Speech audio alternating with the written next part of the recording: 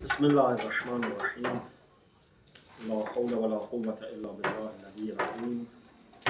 الحمد لله رب العالمين وصلى الله على سيدنا ونبينا أبي القاسم المصطفى محمد. اللهم صل على محمد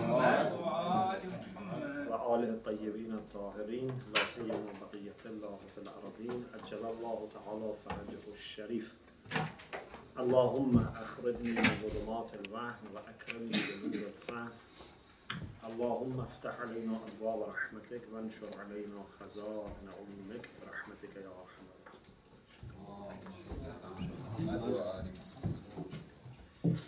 Alhamdulillah, we finished last week uh, Sharh al-Bab Hadi Ashar, the commentary on Bab Hadi Ashar, and we decided to study after that a very important book by Ayatollah Mutahhari called Adl Ilahi. Adl Ilahi is translated into Arabic as Al Adlul Ilahi, in English as Divine Justice.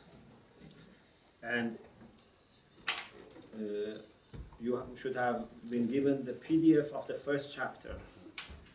And I am ordering uh, the book to come, inshallah, from Iran, the English translation, inshallah. So you should have it, inshallah, soon. Uh, this is one of the major works of Ayatollah Mutahhari. He has many books. This is one of the major ones. And this was written by him when he felt the need for addressing the issue of divine justice and many issues related to that about you know catastrophes that may happen you know calamities uh, about punishment what is the situation of uh, non-believers unbelievers and about reward and this type of things so he has addressed many issues in the introduction to the book which is a long introduction and has been written in 50s in Iranian calendar. Uh, I tell you exactly when was it written. It was written in spring 1352, means 43 years ago. 43 years ago, this was written. So it's like 1973 in 1973. He has written this introduction and he says, I have been writing you know, for 20 years. Says, in the all these 20 years that I have been writing, whether it was an article or book, I have always had one major aim. And that was to write something useful, something needed, to solve a problem. I didn't write just for the sake of writing. It says whether I have written about philosophical issues, social issues, moral issues, uh, historical issues, fiqh issues, always I had one aim, and that was to introduce Islam and address a need. He says we have practical problems. For example, in the Muslim world, there is maybe poverty, maybe there is illiteracy in some places. There are problems. He says if we cannot solve those practical problems, at least we can solve theoretical problems hmm. so that people can, people can understand what is Islamic position. Because that is also part of the solution. If you know what does Islam say about, for example, poverty, about justice, about environment, all these things. So, therefore, he says, this is what we have done. And he says, I wish there was a group of scholars who would coordinate and make sure that they all together work and address all the theoretical issues that we have. Unfortunately, there is no such a coordinated team. So every writer decides that this topic is important, right? And sometimes there can be duplications. And there are also gaps. So in this book, he says, uh, all the discussions here are selected. And because this introduction was written for the second edition, he says, I read for you part of it uh, in Farsi. He says, در چاپ دوم در حدود یک پنجم بر مطالب چاپ اول افزوده شد. In the second edition, about one fifth of the content is added to the first edition. So there is increase of about 20%. به علاوه اصلاحاتی لفظی و تغییراتی از لحاظ نظم و ترتیب مطالب به عمل آمد. In addition to increase in the content, some changes in some terms and some changes in the order and structure of the book have been made. So this is now like a new book. And he says, آنچه درباره مباحث این کتاب می‌توانم بگویم این است که همه مباحثی انتخاب شده است. He puts in the quotation. It says all the discussions in this book are selected. Okay? So just selected discussions for selected people like you. I think you are all selected also. هیچ یک به طور تصادف و به موجب علل اتفاقی طرح نشده است. None of the discussion this way is by chance, by accident. For example, uh, I felt this chapter is short, so I had to add to it, so I just put something here to make it bigger. No. Anything here is carefully selected and put in this. اینها مسائلی است که فراوان از طرف گروه های مختلف بالخصوص طبقه جوان با من در میان گذاشته می شود. He says these are issues that many times different groups, especially young people, mention to me. They raise these questions. آنچه در این کتاب آورده ام در حقیقت یک پاسخ عمومی است. Whatever I brought is in sense a common reply to all these questions, these public questions. And he says the discussions here are both aqli and naqli.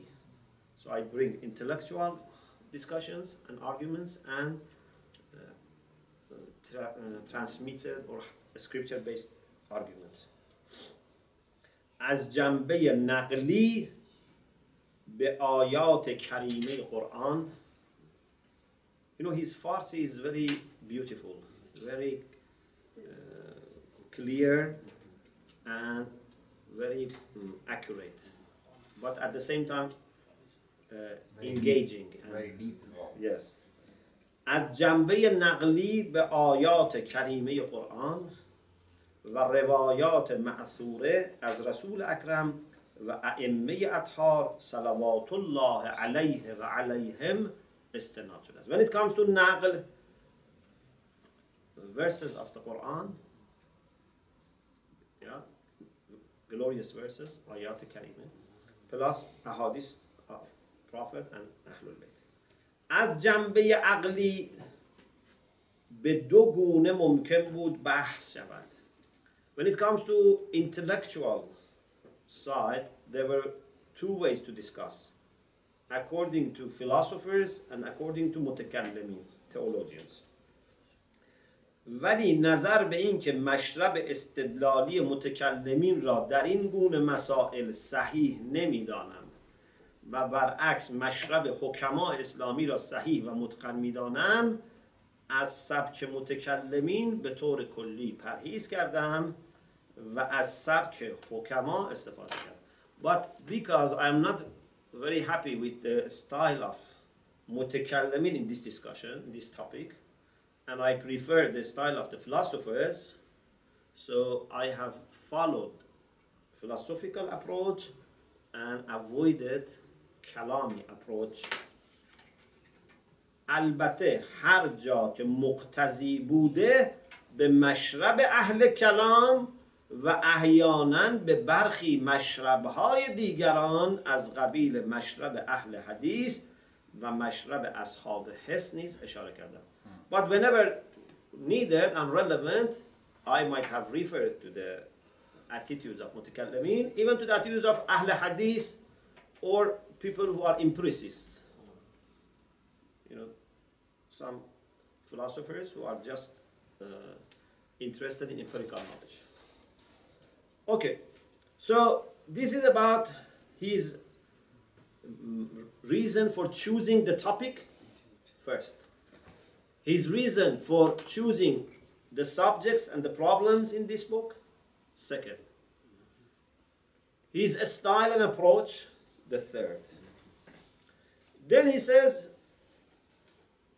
unfortunately, Muslim philosophers, unlike Mutakallimin, because he prefers philosophical approach, but he says philosophers have not dealt with the issue of divine justice as an independent subject.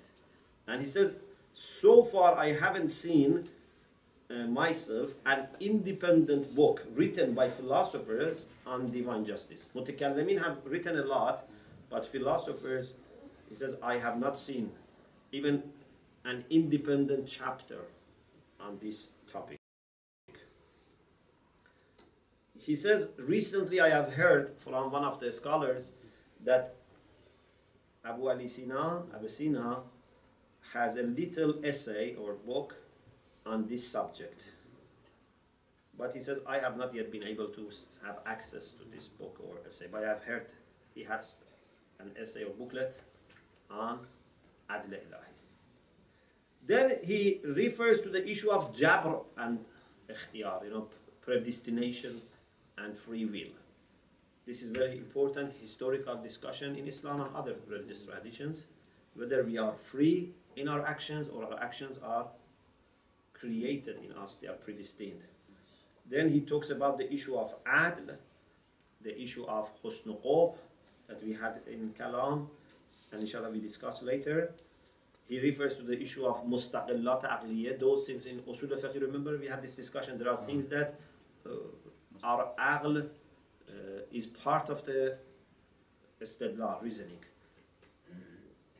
And sometimes uh, both premises are from aql, sometimes one premise is from aql, the other is from naql. And then he refers to the discussion in Kalam that we had it, Alhamdulillah, about purpose in Allah's actions. You know, now after studying two books on Kalam you know, you had Hamza Shaqa'id, you had uh. Many of these things now are very familiar to you.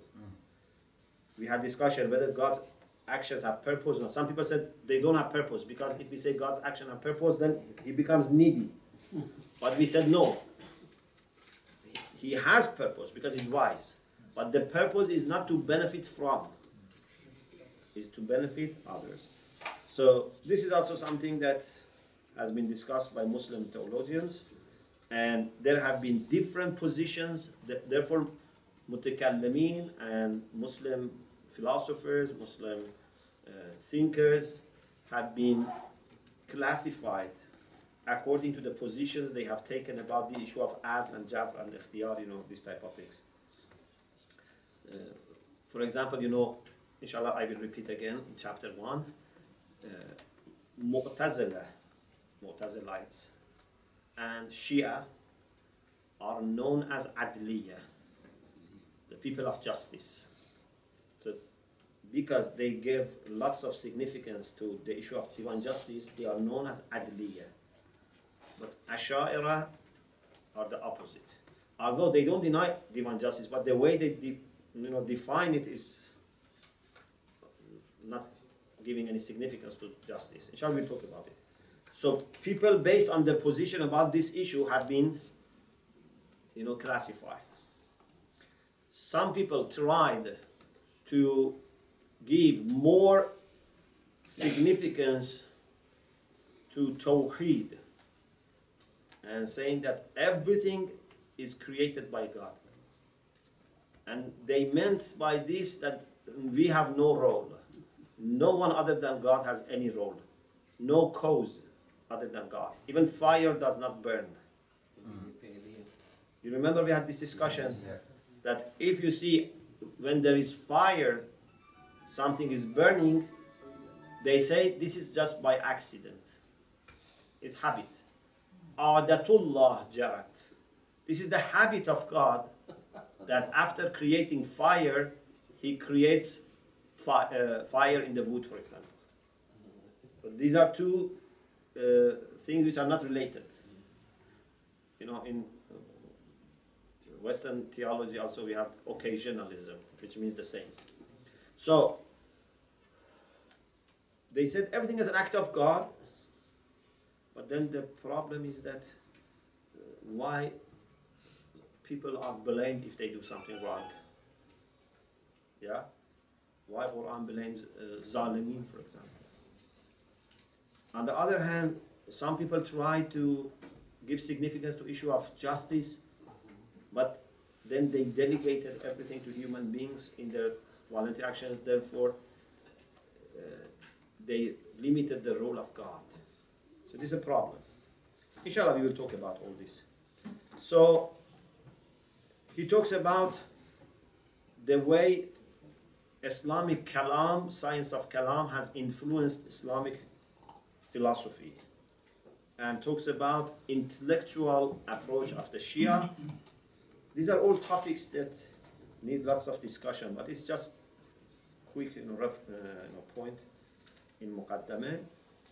He talks about the Shia approach in fiqh which would not accept qiyas. You know qiyas, analogy. It's not accepted because it's not uh, decisive, doesn't lead to certainty. And then he has a discussion why the issue of justice has become very important for Muslims. Why so much emphasis on the issue of justice and relevant related issues in early centuries of Islam onwards. He says, in my understanding, the root is the Quran itself. The Quran inspired this discussion because Quran refers a lot to issue of adl and zulm. For example, Quran says the whole creation is based on balance. وَالسَّمَاءَ رَفَعَهَا وَوَضَعَ الْمِيزَانَ Allah raised the sky and set up the scale and balance. Bil, hadith from Rasulullah says, Bil adli samawat wal ardu. All the skies and the earth stand up because of justice. Of course, justice here uh, has a special meaning. It means like balance. All the messengers have come to help people achieve social justice. لقد أرسلنا رسلنا بالبينات وأنزلنا معهم الكتاب والميزان ليقوم الناس بالقسط. All the messengers have come. They have been equipped with manifest signs, with book, with a scale, so that people rise and establish social justice. So, Quran inspired Muslims to think actively about the issue of justice and injustice and social justice and equity.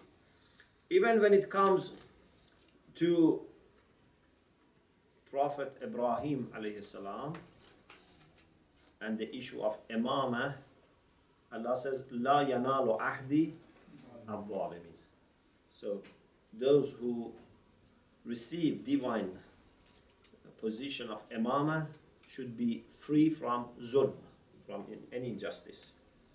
Or for example, Quran says a moral person is the one who has justice, righteousness. You know, sometimes the Quran when talks about witnesses, وَأَشْهِدُوا ذَوَيْ عَدْلٍ مِنْكُمْ Surah Talaq, verse 3. Ask two people who have justice to bear witness and bring them. People who have justice. You know, say adil. Zawai means possessor of justice. When Greek philosophy was introduced to Muslims through translation, people saw that, for example, Plato talks about justice. And justice is the most fundamental virtue in Greek approach to virtues. When all the faculties are in a balanced and middle position, when you have shaja'a and hikmah and iffa, then you have adab. But he says before these translations took place, Quran talks about justice as fundamental, a fundamental value. And he says most of the verses, this is a very important point, like everything we said so far. most of the verses in the Quran about justice are about social justice, not only personal justice. Qist and social justice. And he says, I have so far came across 16 verses about this issue. I don't know if you have uh, read or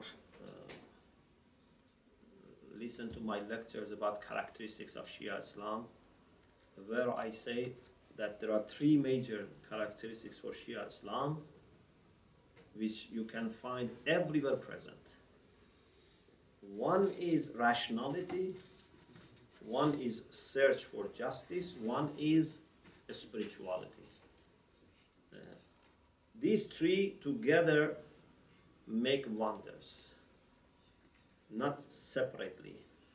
Spirituality alone is not enough. If you are spiritual but not rational, is a problem.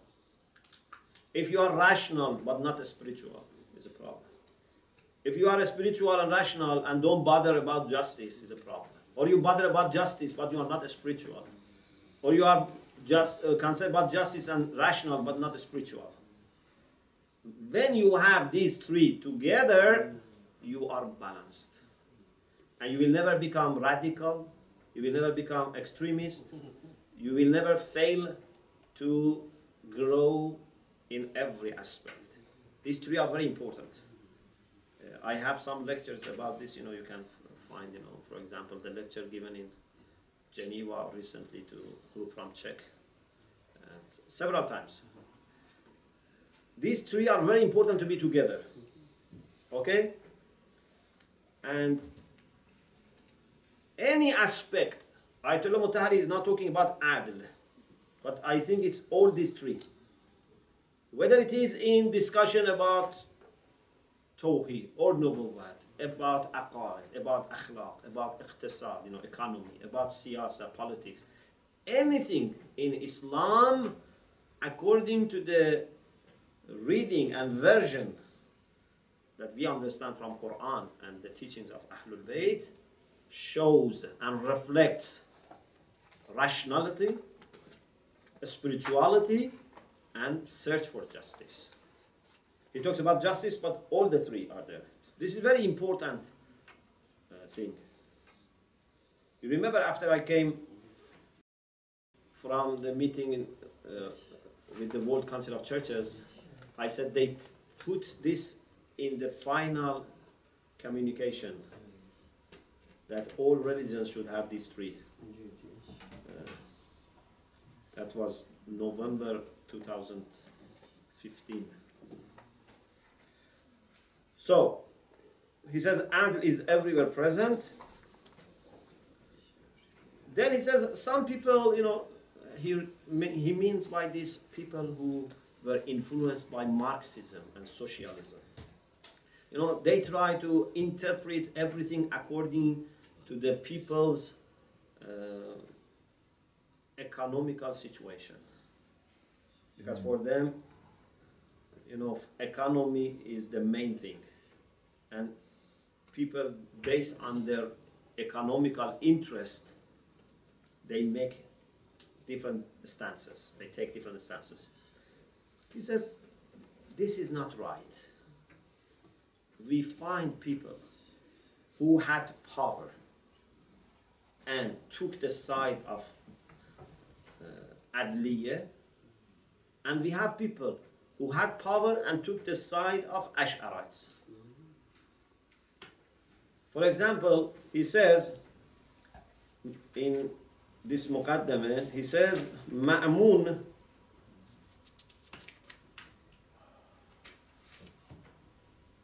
You know, Ma'mun, the Abbasid Caliph, he says he was supporting Mu'tazilites, but Mutawakkil was supporting Ash'arites. Both of them are Khalifa and both of them are Abbasi. You cannot say any person who has power would be, for example, uh, taking the side of Ash'arites or taking the side of Mu'tazil.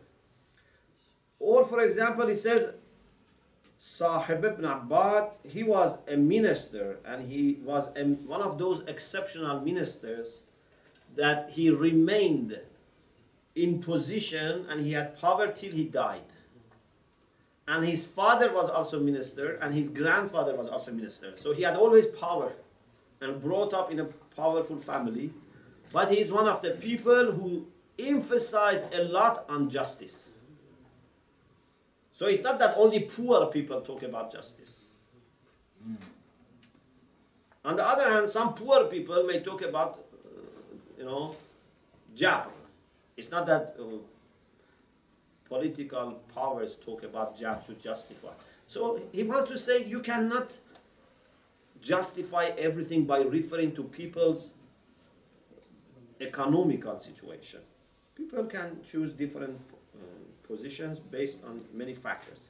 Okay, this is all introduction.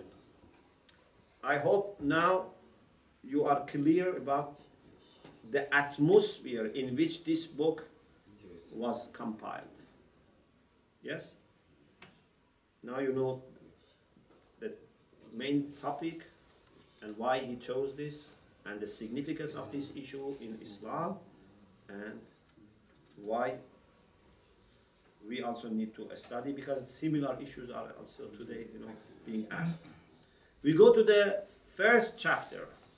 Of course, he doesn't mention fast. He says can, one, but can be chapter one. I don't know how is it translated, a chapter or as just one. It just says you know, conceptual outline. Yeah, like unit one, chapter one. Is tarh bahs tarh In Farsi, when you uh, open the discussion, you see what, uh, say what is the topic. This is called tarh Okay? You know, imagine you want to give a lecture on something. In the first five minutes, ten minutes, you explain what you want to say. Yeah? Mm. Uh, some people uh, spend 90% of the time saying what they want to say. and they never say what they want to say. Is it like the summary of what uh, the speech is going to be? Pardon? Is it the summary of what he's going to say? No, opening the discussion. Huh? Introduction. Yeah He wants to mention what is the point, you know, what is the theme here. Then the second unit is حل مشکل طرح بحث حل مشکل Okay? Farsi is a sweet language, yeah? Nice. Yes. I hope no one has diabetes.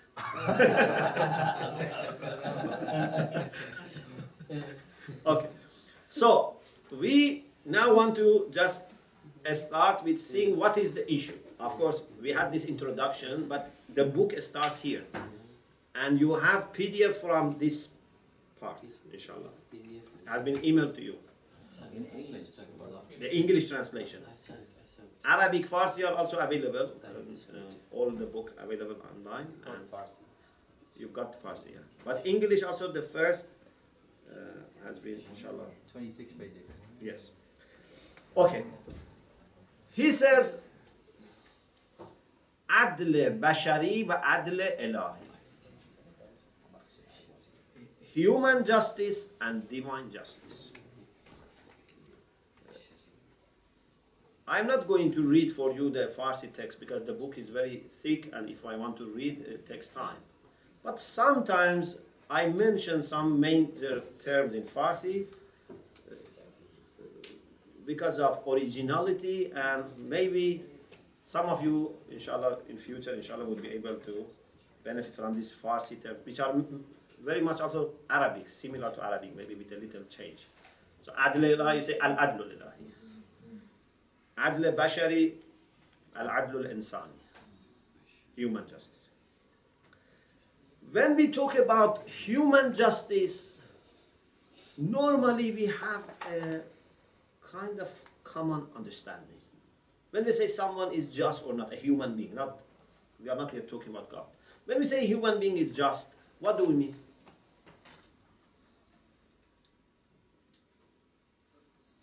When we talk about human justice, Yeah, when we say someone is just, we mean he observes the rights of people, he treats them uh, with respect, he doesn't harm them. If he has power, he treats people equally, he would not discriminate against some people. If he's responsible to distribute something, he distributes them fairly, not necessarily equally, but fairly if he's a teacher, he would not be biased. Uh, he would not uh, give uh, a special privilege without reason to anyone. Okay? I'm not saying gives equal mark, but he's not biased. Maybe he gives more, but because of good reason. And when he is dealing with zalim and mazlum, a just person, what should he do?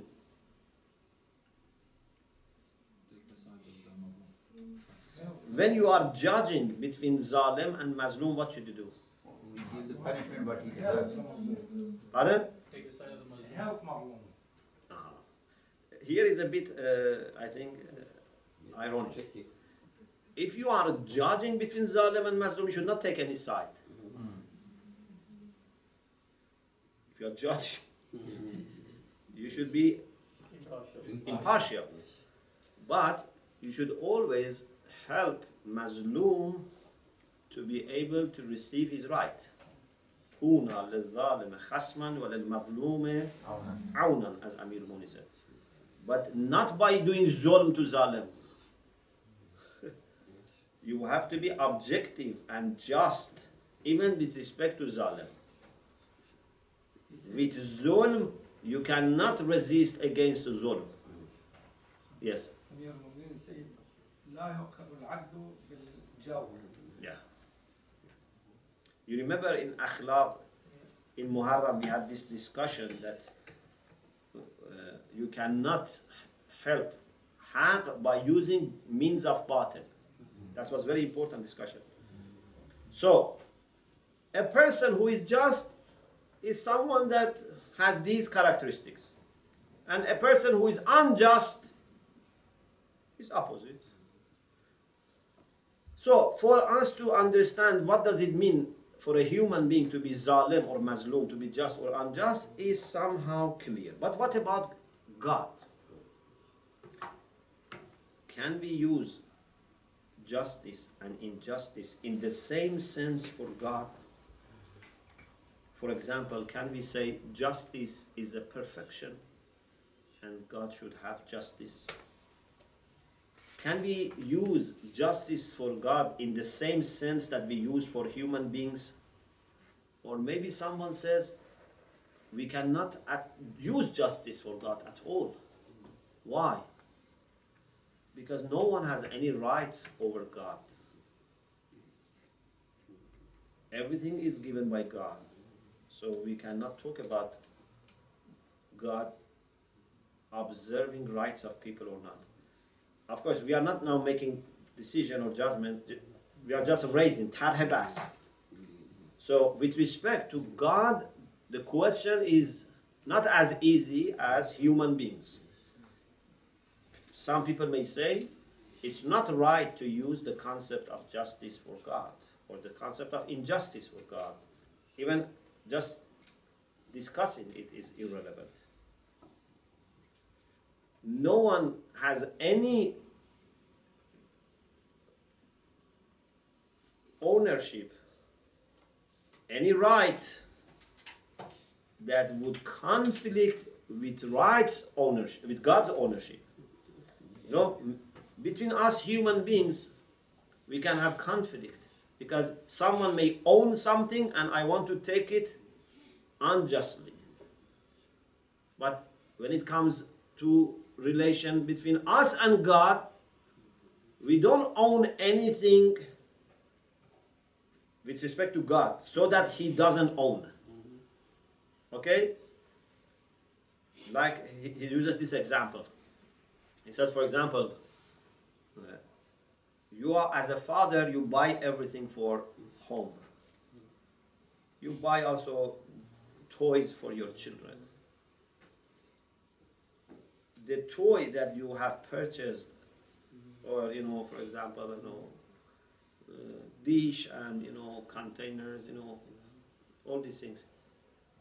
If you have given your child to use them, is not that he has now ownership and you don't have ownership, and if you use it, it's zulm. It's yours, but you made it available for your child to use. Yeah? So you cannot say that if father uses, it's zulm.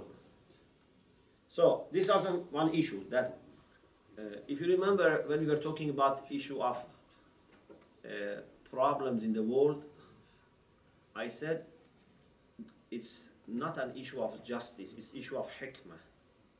Because no one has any right over God. You know, if God gives someone no children and gives someone children, the one who has no children cannot, you know, blame God. Say, you know, what, you have not been just. You have given my friend 10 children, I have no children. Yeah? He cannot blame. And the one also who has 10 children cannot blame, you know, I have 10 children to look after, this person has no child to worry. Nowadays people blame the other one. So, no one can blame whether he has or he doesn't have.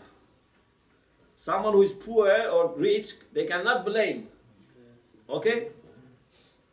Because they don't have any rights over God. Anyway, this is something to consider. We are not making any decision now, just we are raising issues.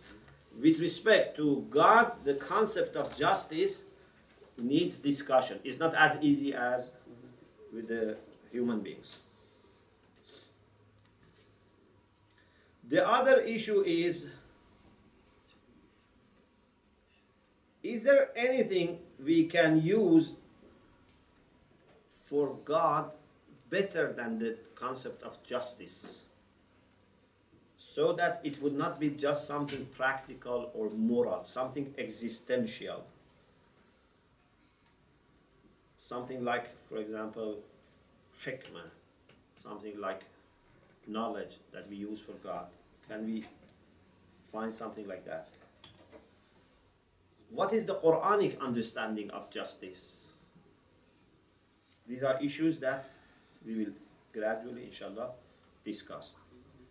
What is clear and beyond any doubt is that in divine religions, Islam, Christianity, Judaism, justice of God is very important. And our relation with God is built partly on this understanding that God does not do zulm. Yeah? In all religions we have this. This is part of our understanding of our relation with God. He says, for example, in the Quran, you find, as we said in Muqaddama, in introduction, that all the messengers have come لِيَقُومَ النَّاسُ بِالْقِسْطِ Or when it is about the day of judgment, Allah subhanahu wa ta'ala says, وَنَضَعُ الْمَوَازِينَ الْقِسْطِ لِيَوْمِ الْقِيَامَةِ Surah Anbiya, verse 47. The scales for you know social justice will be set up on the day of judgment. فَلَا تُظْلَمُ نَفْسٌ شَيْئًا No one will be dealt unjustly. وإن كان مثقال حبة من خردل أتينا بها If your good or bad action is even very, very small, like a particle, we would bring it. Nothing will be lost or forgotten. وَكَفَى بِنَا حَاصِبٍ And we are sufficient in reckoning. So justice is also for the day of judgment. Quran in many places says that God does not do zulm.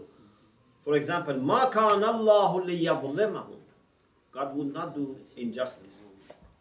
Or in a positive way, the Quran says God observes justice. So sometimes Quran says God does not do zulm. Sometimes God observes justice. For example, شهد الله أنه لا إله إلا هو والملائكة وأولو العلم قائما بالقسط. God bears witness that there is no God but Him. The angels and those who have knowledge, they all bear witness that there is no one to be worshipped other than God, who is standing for justice or who is establishing justice. But what is interesting, in the Quran, you don't find, at least I don't remember, any ayah that says God is adil.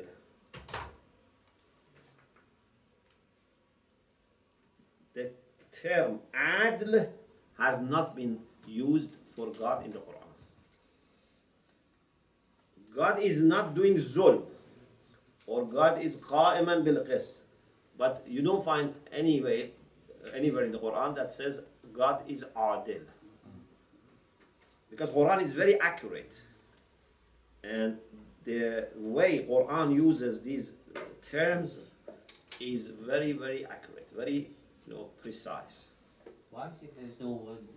Why, is there no word like adl in the Quran? What is it? No, no, adl is in the Quran, It is adl is in the Quran. but not for God.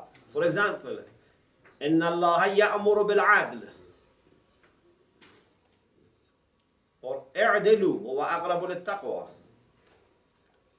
ذوي عدل منكم as we said but you don't find any verse which says إن الله عادل okay why So what's the difference between Qa'iman bil attributed to Allah and Adam. Oh. In, if you uh, use dictionary, they may say it's the same. Rest is social justice. Even in hadith, you may find some hadith using the term adl for God. Or, you know, in Muslim theology, and you know, you find God is adl. Even we say adl, yes? I think well, the adl need uh, events, need qadiyah.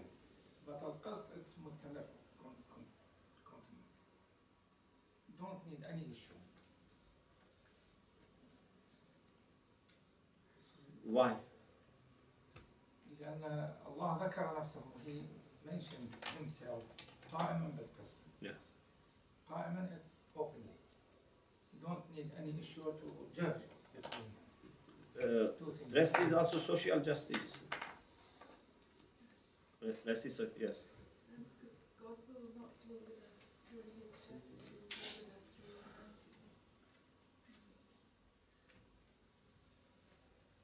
It is true that, but still he is adil because his mercy is not conflicting with his justice. It's a very good question. Because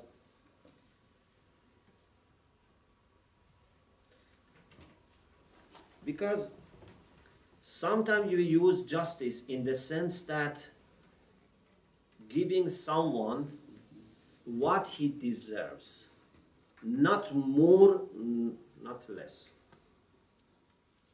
If you mean justice in this way, yes, then treating us with favor is different from justice. So sometimes, for example, say, uh, إلهنا عاملنا بفضلك ولا تعاملنا بعدلك treat us with your favor, not with your justice. What do we mean by don't treat us with your justice? We don't mean treat us with zulm. We don't mean accept this. I think this is the meaning. That the only thing that we mean by this is don't give us what we deserve. Give us more than what we deserve. Definitely, you are not doing, going to do zulm, but this is not enough for us that you don't do zulm. We are not worried about zulm. We are worried about being given what we deserve. We don't deserve anything. Pardon? We don't deserve anything. We, we deserve. No, no, you deserve punishment.